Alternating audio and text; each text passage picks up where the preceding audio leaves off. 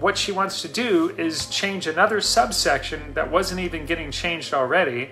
And she wants to say that the Republicans support abortion if the mother's life and health is in danger. Something like that.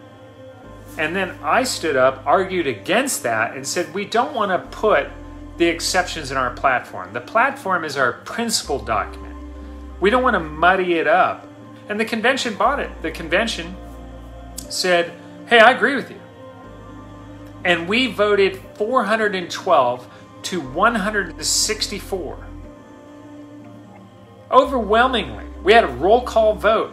It was overwhelming in our favor to reject this amendment and this lady's argument that we ought to put this exception in there, even for mental health.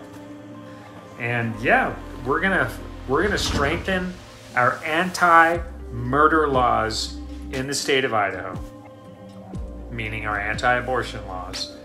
And in the ideal world, all elective abortion, which is most abortion, and all of that, all of that should be a criminal act. And it shouldn't be any different than any other homicide. That's the reality because that's what it is. What happened at the convention was fantastic. It was a great convention.